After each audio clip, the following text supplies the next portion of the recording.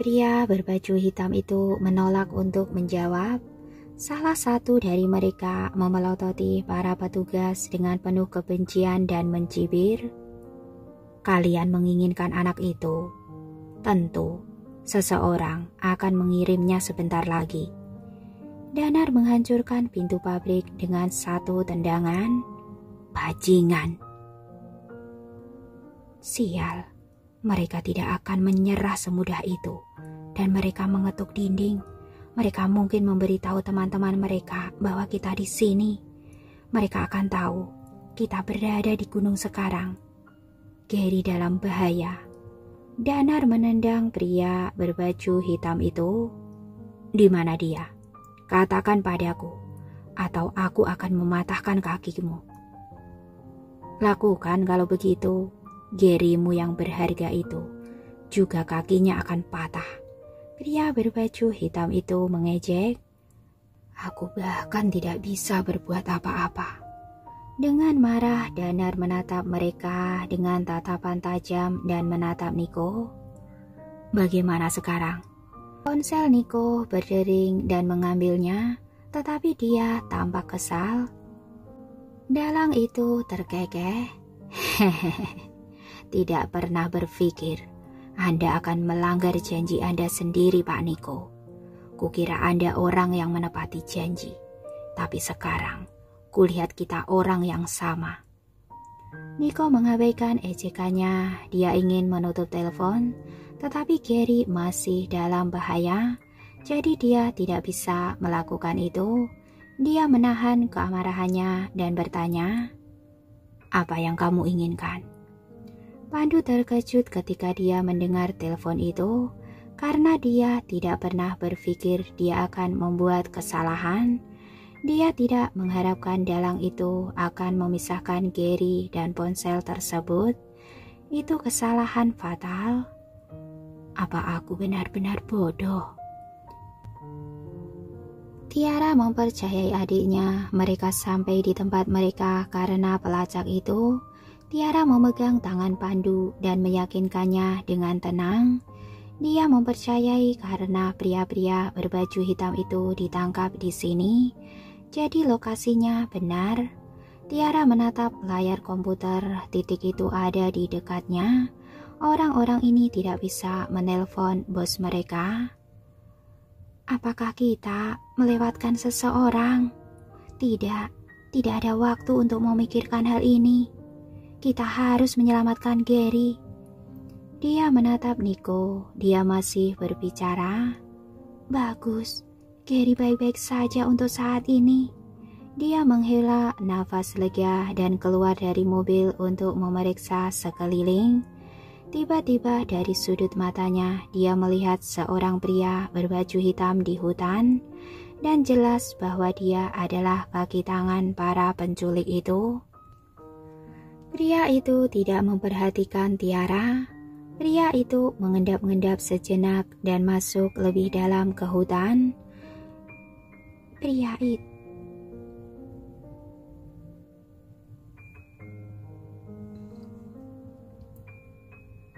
Pria itu mungkin adalah pemimpinnya. Aku tidak bisa membiarkan dia pergi. Tiara tidak punya waktu untuk memberitahu orang lain dia tidak punya pilihan selain mengikuti pria itu sendirian, dan dia menjaga jarak jika pria itu memperhatikannya, tetapi dia selalu mengawasinya. Sekitar 10 menit kemudian, tangannya sudah basah kuyup oleh keringat, tetapi dia menyadari bahwa mereka akan keluar dari hutan. Jadi dia melambat dan bersembunyi di antara semak-semak Kemudian dia melihat sebuah rumah di depannya. Pria itu masuk ke dalam. Bos, Niko dan anak buahnya ada di pabrik dan mereka menahan orang-orang kita. Apa yang harus kita lakukan? Pria itu mengangkat dagu Gary dan bertanya, "Apa yang harus kita lakukan?" "Apa yang harus kita lakukan, Nak?" Biarkan aku pergi. Jika uang yang kalian inginkan, papaku dapat membayarnya. Jawab Gary dengan tenang. Tiara berhenti sejenak. Aku tahu itu. Gary di sini, tapi ada banyak penculik di dalam. Aku tidak bisa menyelamatkan, bahkan jika aku mencoba menghadapi mereka secara langsung. Apa yang harus aku lakukan? Benar, Niko. Aku harus menelpon Niko. Dia mengeluarkan ponselnya dan menghubungi Niko dengan tangan gemetar. Hah, aku menemukan Gary. Cepat kemari, ada banyak preman di sini. Kamu ada di mana? Jangan bergerak sampai aku tiba. Jawab Niko cemas dan dia mengangkat tangannya untuk membungkam semua orang. Tiara bahkan hampir tidak bisa memegang ponselnya dia berbisik, Aku akan mengirimkan lokasiku padamu. Cepat datang ke sini, secepat yang kamu bisa. Dia mengirim lokasinya kepadanya dan bersembunyi di tempat di mana dia bisa melihat semuanya. Pemimpin penculik memegang dagu bocah itu. Papamu, dia sudah tidak menginginkanmu lagi. Gary berjuang untuk membebaskan diri itu bohong. Papa dan Nona Tiara pasti mencariku. Pria berbaju hitam itu mendengus. Iya, dan itulah kenapa mereka tidak menginginkanmu lagi. Aku bilang kepada mereka untuk membayar, tapi mereka datang ke sini untuk mencarimu. Mereka tidak menginginkanmu lagi, dan kamu kehilangan satu-satunya kesempatan Aku mungkin harus memberi peringatan pada papamu itu. Dia mengayunkan tongkatnya beberapa kali. Gary menatapnya dengan ketakutan. apa yang ingin kamu lakukan? Pria berbaju hitam itu mendengus. Patahkan tangan, tentu saja. Ini mungkin menakut-nakuti papamu yang kaya itu untuk membayar. Mata Tiara terbelalak. Tidak, aku tidak bisa membiarkan ini terjadi. Aku tidak sabar menunggu Niko lagi. Dia menyerang ke depan dan memeluk Gary erat-erat dalam pelukannya. Penculik itu mengayunkan tongkatnya dan itu mengenai punggung Tiara. Tiara mendengus kesakitan dan dia bisa merasakan bagian dalamnya berputar saat terasa sakit menyebar ke seluruh tubuhnya, dia merasa pusing dan hampir pingsan. Gary terkejut dan dia menangis. Nona Tiara, apa kamu baik-baik saja? Nona Tiara, jangan membuatku takut. Tiara pucat karena rasa sakit, tetapi dia ingin menenangkan Gary yang menangis. Dia mencoba menyentuh wajahnya, tetapi seluruh tubuhnya berteriak kesakitan dan semua kekuatannya hilang. Jadi, yang bisa dia lakukan hanyalah memaksakan senyum. "Aku baik-baik saja." Dia meyakinkan anak itu, "Aku baik-baik saja." Carrie sudah bertahan untuk sementara waktu tetapi ketika dia melihat darah mengalir dari bahu Tiara, dia tidak bisa tetap tenang lagi dan dia menangis. Aku akan meniup kamu, Nona Tiara. Kepala pelayan berkata, itu akan menghilangkan rasa sakit. Jangan tinggalkan aku sendiri, Nona Tiara. Aku takut. Penculik itu tidak melihat ini akan terjadi dan dia kesal dengan tangisan anak laki-laki itu. Dia meraung, berhenti menangis, atau aku akan membunuh wanita ini. Terkejut Gary berhenti menangis dan dia berbisik melalui isakan tangisnya. Nona Tiara. Mencoba untuk tetap tersadar Jangan menangis, Gary. Aku baik-baik saja. Aku baik-baik saja. Setelah keributan mereda, pemimpin penculik berbalik dan menendang antek-anteknya. Kau sampah. Kau bahkan tidak tahu kau diikuti. Apa aku memperkerjakanmu tanpa bayaran? Antek itu jatuh ke belakang dan dia dengan cepat bangkit hanya untuk berlutut di depan bosnya. Apa yang harus kita lakukan, bos? Dia sudah ada di sini. Jadi, apalagi dia mungkin sudah memberitahu Niko bahwa mereka pergi dan memberitahu orang-orang untuk berpisah. Pemimpin itu memerintahkan dengan cepat. Iya, Para penculik itu dengan cepat datang untuk memisahkan Tiara dan Gary. Tiara tahu Niko sedang dalam perjalanan. Dia adalah pemimpin terbesarnya dan dia tidak akan membiarkan mereka membatalkannya. Tiara memeluk Gary itu sekuat yang dia bisa dan dia berbisik. Gary, pegang aku. Jangan lepaskan aku, apa pun yang terjadi. Carrie memeluknya sekencang mungkin setelah dia mendengar apa yang dikatakan Tiara. Aku tidak akan melepaskanmu. Dia adalah seorang wanita yang terluka dan anak itu dibesarkan dalam rumah tangga yang penuh kasih sayang dan kaya. Siapa pun akan berpikir mereka dapat dengan mudah dipisahkan, tetapi para penculik merasa sulit untuk melakukannya.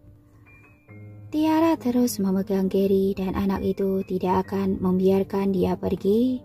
Para penculik itu berusaha keras untuk memisahkan mereka, tetapi mereka masih tidak bisa melakukannya. Mereka bisa merasakan bos mereka marah, jadi mereka berhenti dan melaporkan dengan hati-hati. Bos, kami tidak bisa memisahkan mereka. Dengan marah, pemimpin itu mendorong para penculik tersebut pergi. Sial, dasar kalian tidak berguna.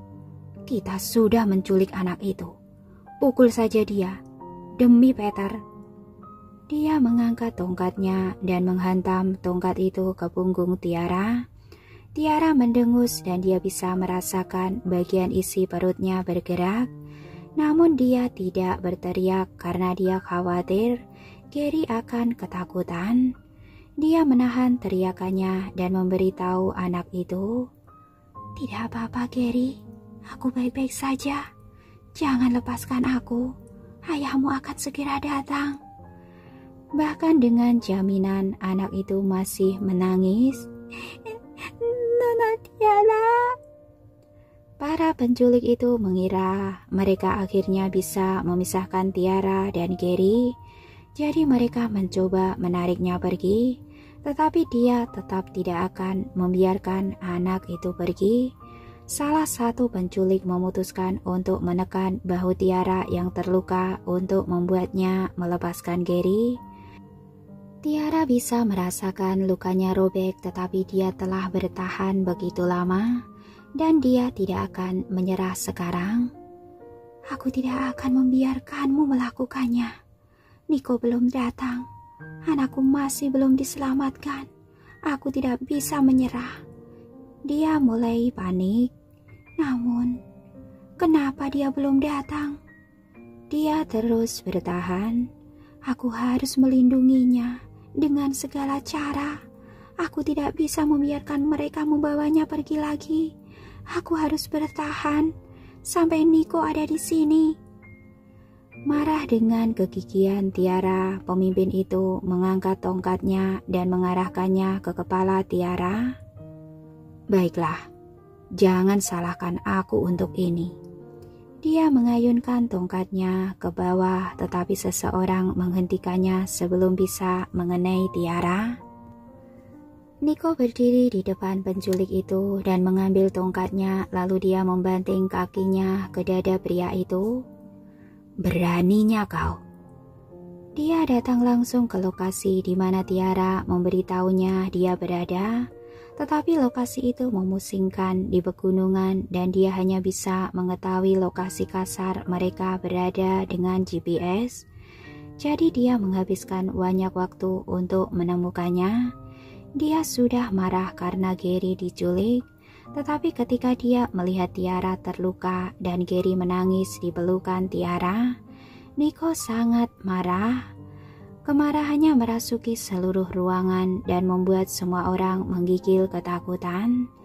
Pemimpin penculik itu tidak bisa bangun setelah ditendang dan dia tampak pucat.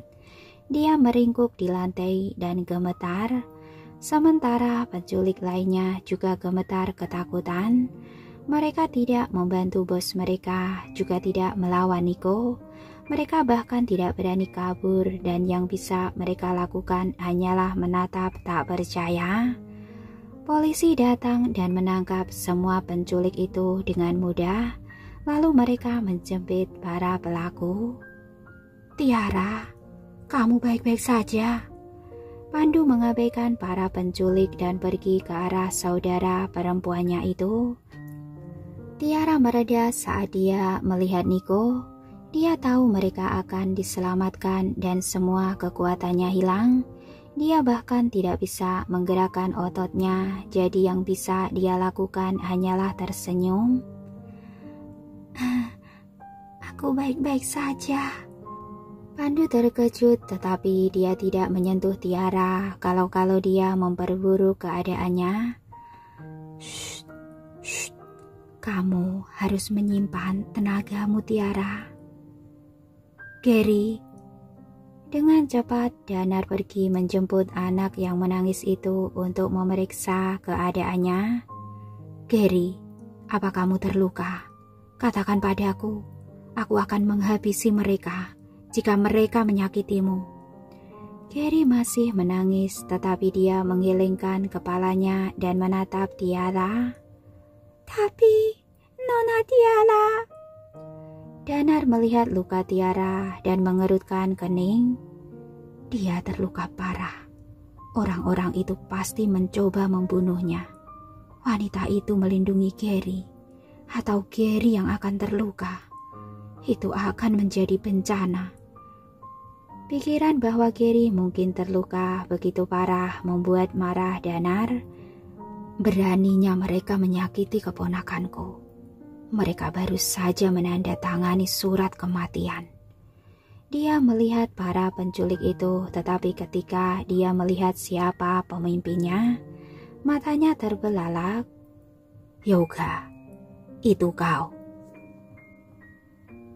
Yoga dulunya adalah salah satu pemasok grup Samuel dan Danar dulu yang bekerja dengannya, jadi mereka saling mengenal namun enam bulan lalu, Yoga yang telah bekerja dengan jujur selama ini menyediakan produk di bawah standar untuk klien besar dan menyebabkan grup Samuel mengalami kerugian besar. Ketika perusahaannya mengetahui Nico memerintahkan semua orang untuk berhenti bekerja dengan Yoga dan menuntut sejumlah besar kompensasi darinya, Yoga juga masuk daftar hitam Danar menjelaskan situasinya kepada Niko, meskipun dia tidak pernah mengira Yoga akan melampiaskan kemarahannya pada seorang anak laki-laki. Niko menatap Yoga dengan gelap. Dia mencoba menyakiti anakku karena aku berhenti bekerja sama dengannya. Tidak bisa dimaafkan. Karena Danar mengenalinya, Yoga tahu tidak ada gunanya bersembunyi lagi. Jadi dia tersenyum. Niko, Danar, kalian hanya sukses karena kalian dilahirkan dari keluarga kaya. Sementara aku berusaha keras. Kalian menyebutku tidak bermoral hanya karena aku membuat satu kesalahan.